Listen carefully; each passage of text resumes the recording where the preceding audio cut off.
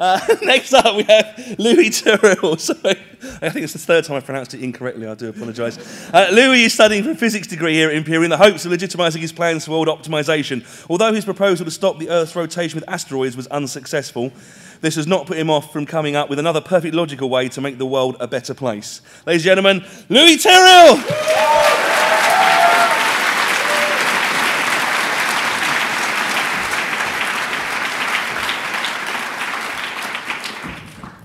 Good evening. I'm Louie Terrill, as you might have heard, a physics undergraduate here at Imperial, and my talk is on why the Kessler syndrome is key to humanity's future. Before I start, I do just have to point out that the views I'll be expressing aren't representative of the university or even myself. now, there are no shortage of proponents for manned space exploration, ranging from Stephen Hawking to President Donald Trump. but why do we go to space? Is it for the benefits to science? The tech spin offs that benefit life back down on Earth? Perhaps it's the inspiration that space provides for the next generation. Or it could just be geopolitical posturing. Perhaps one of the best arguments for space colonization is that it would protect us from existential threats, such as asteroids or nuclear war. I propose that space is not worth it. In fact, that space exploration is actively detrimental for the future of humanity. And I have a solution. To begin with, though, just how convincing are those reasons? To quote the late Carl Sagan, you don't need to go to Mars to cure cancer. As for inspiring the youth and showing off to rival superpowers, it seems like actually going to space isn't worth the effort. You could just fake it, and nobody would be any the wiser.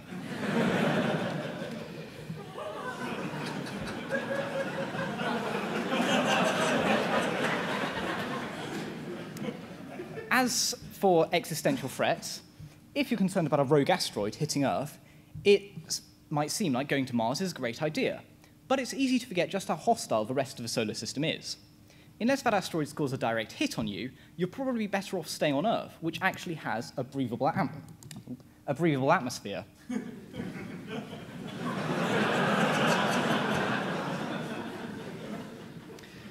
Still, these are just the reasons why space travel gets too much hype and attention. I haven't even started on the negatives. Firstly, space travel is expensive, not just in terms of time, but also money and talent. For instance, Elon Musk could be working on the Hyperloop, a high velocity, high efficiency vacuum tube transport system that would finally make train spotting a cool hobby. Unfortunately, even he only has time to run maybe two world changing projects at the same time. If we could somehow render spaceflight impossible, that would free him up to work on more down to earth ideas instead. Not only that, but even when space does become publicly available, the tickets aren't going to be cheap. The meek might inherit the earth, but the rich will have other options.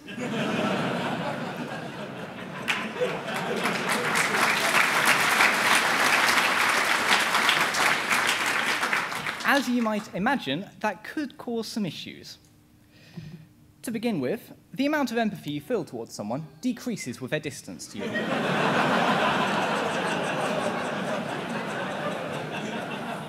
Others might try and tell you it's more complicated than that.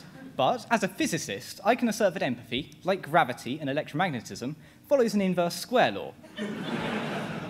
For instance, the amount of empathy I feel towards myself is obviously infinite. I feel about 100 times more empathy for the judges than I do for anyone sat on the back row. and it all goes downhill from there as you get further away.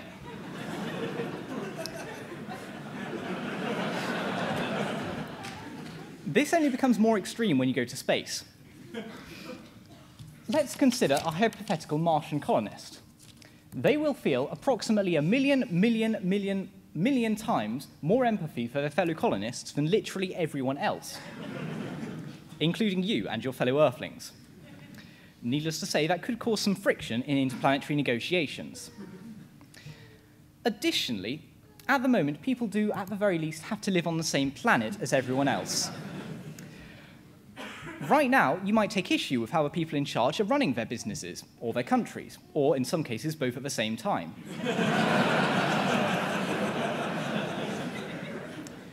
However, at the moment, they have to share a planet with everyone else. Imagine how much worse they could be if they knew they could escape to space before their actions catch up to them. Fortunately, there is a solution.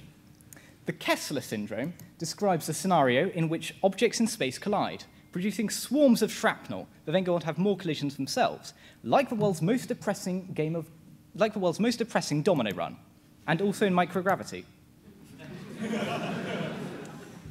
These clouds of debris would orbit the planet for centuries, and they'd make space travel risky, if not impossible, which is perfect for our purposes.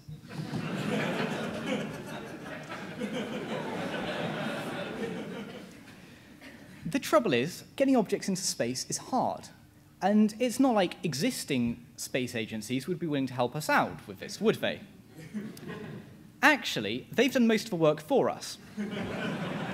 Earth's currently orbited by thousands of pieces of debris, ranging from rocket stages to retired satellites. So there's not much more we really need to do. The main boosts have been from anti-satellite missile tests, which produce large amounts of fragmentation, and these are perfect for our purposes. The trouble is, these weapons are expensive. It's unlikely that any one of us here tonight would be able to afford to buy one on the black market. Fortunately, there are already a number of platforms dedicated to solving these kinds of financial coordination problems. Are you sick of hearing about global warming? well, if you can get enough people together to raise funds, you can blast those pesky weather satellites out of orbit and never have to hear about it again. Do you hate hearing your GPS tell you where to go? Well, there's a simple solution. Just blow up the entire GPS system, and everyone will be using paper maps again, just like the good old days. All you need to do is get enough nostalgics together to pool their resources. And if you're and if you think that telecoms are making everyone ruder, then there's a simple solution to this as well. You're not going to believe it, but this also involves blowing satellites out of the sky with missiles. That way, everyone will be sending politely worded letters to each other, just, again, like in the good old days. So, each of these, if funded by enough people with an interest in those projects, would be perfect for cutting off Earth from space forever, with a swarm of shrapnel in our orbit. Now, as a closing comment, I previously mentioned existential threats to humanity. Not only would this project prevent us from ever making the mistake of leaving Earth, but there's also an existential threat it would protect us from. Should aliens ever try to invade, it would also keep them out. Thank you for listening.